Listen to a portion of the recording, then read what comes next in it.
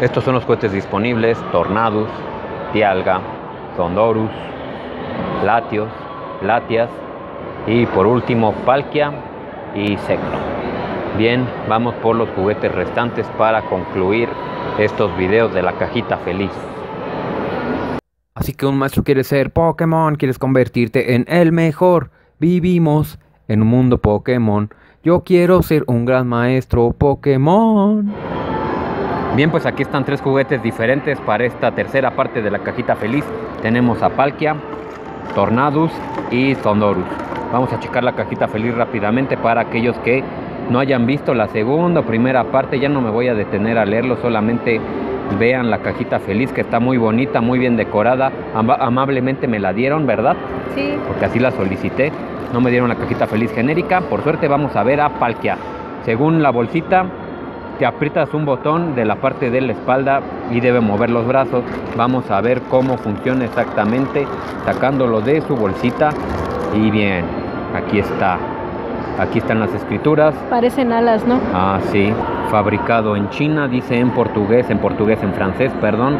2018 Pokémon Made for McDonald's, Made in China.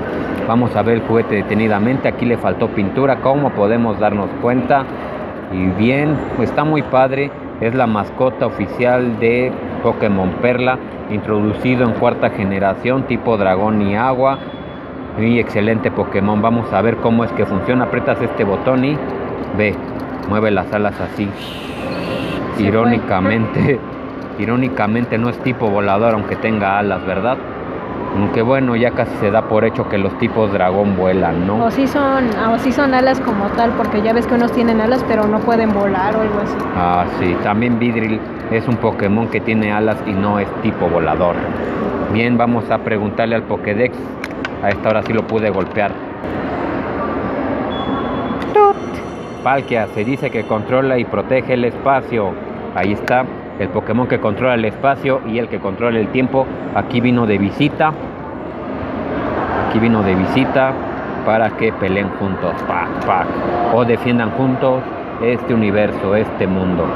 Bien, me gustó mucho esta figura, están muy bonitas todas las figuras de Pokémon que han salido este mes. Vamos a hacerlo aquí a un lado y ahora pasemos con Tornadus. Según la bolsita, solamente lanza disquitos. Vamos a ver es un Pokémon tipo volador, introducido en quinta generación, blanco y negro. Y ven, aquí está. Según las instrucciones de la bolsita, metes este disco que por cierto no trae nada, es en blanco. Lo introduces aquí y vamos a disparar apretando este botón a la cajita feliz. Bueno, no tiene mucha fuerza, quizás no embonó bien. A ver, ahora sí. al revés, Un poquito, ¿no? Un poquito. A ver, ya está. Esto es lo máximo que llega. Y va de nuevo, vamos a dispararle a Palkia. Pues no, no, no dispara tan fuerte, la verdad. de comida, sí, ¿no? ¿Tú crees? ¿Tú crees que sí parece? Poquito. Yo lo veo más bien como una mentita, ¿no? También. Está muy padre, vamos a dejarlo aquí. Bueno, al menos así no se va a perder. Vamos a analizar la figura detenidamente. Parece que está en una nube. Y aquí están las escrituras. 2018, Pokémon Made for McDonald's 2018 y también en francés, fabricado por McDonald's. Está padre, no es uno de mis Pokémon favoritos, pero la figura está genial. También me hacía falta una figura de este Pokémon, recuerdo que por ahí de 2013 Tommy puso unas figuritas de estos Pokémon con una basecita y una Pokébola que los atrapaba así. Pero nunca tuve la fortuna de tener uno Así que me doy por bien servido con esta figura de Tornadus. Su pose me recuerda al maestro limpio. Ah, sí, la verdad. Vamos a preguntarle al Pokédex qué información nos da de Tornadus. Tornadus le gusta ir volando de un lado a otro generando tempestades. Ahí está la información de Tornadus. Y bien, vamos a hacerlo aquí a un lado. Y vamos con el último Pokémon me hubiera gustado que también introducieran a Landorus, ya que pusieron el trío de nubes o dos Pokémon del trío de nubes, hubieran puesto a todos, ¿no? Aunque me hubiera gustado más que los pusieran en sus otras formas, que parecen aves. Pues sí, estaban mejor esas formas. terrestres, Estaban mejor esas formas, la verdad. Y bueno, creo que solamente tienes que golpearlo y hace ruido, creo. A ver, vamos a checar. Ah, sí, exactamente. como la bocina esa de Justice League, que era como una especie de altavoz, solamente lo golpeas y hace ruido así como lanzando truenos. Eso sí me gustó, es un buen detalle porque parece el ruido del Pokémon del mismo juego, ¿no? Pareciera que eso está imitando. Esta figura está bien hecha, al igual que Tornadus, no es de mis Pokémon favoritos, pero estoy feliz de que al menos ya tengo una figura de este Pokémon. Ahora que los veo bien parecen recolor, ¿no? Uno del otro. Ah, Mira, sí. compáralos. Sí, de hecho, pero cambia un poco el bigote, ¿no? sí. Y ve, por ejemplo, él tiene un cuerno y él tiene dos. Así que pues sí hay Es variaciones, ¿eh? mágico. Sí hay un poco de variaciones, pero casi parecen repaint como Sí. mencionas. Mira, también aquí las púas son diferentes. Sí, eso sí. No trae aquí disquito.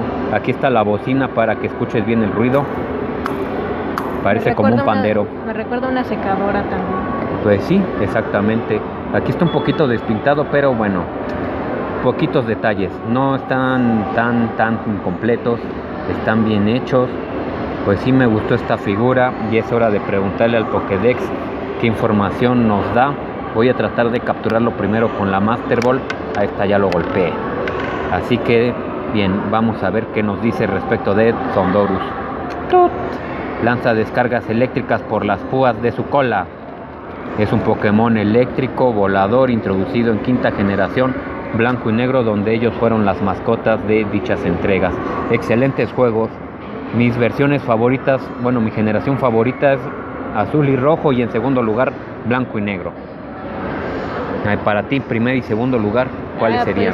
pues, igual estoy entre las primeras, o no sé, es que también Yoto me gusta mucho, pero la quinta en sí la disfruté también mucho. Blanco y Negro 2 en lo personal no es mucho de mi agrado, prefiero las primeras entregas. Pues sí, exactamente, blanco y negro es mi, bueno, mi generación favorita, segunda generación favorita, pero siempre y cuando sean las primeras partes. En fin, estos fueron los últimos juguetes de Pokémon. Pues me voy triste porque quería más figuritas. Ojalá hubieran sacado 16 como en otras promociones, como en Hot Wheels, como en Barbie. Ojalá hubieran sido más figuras, en serio, me hubiera gustado. Esperemos que no tarden en llegar otra vez Pokémon a la cajita feliz, porque fue una excelente promoción. Bien inicio, buen inicio de año más bien. Dale like, suscríbete y comenta.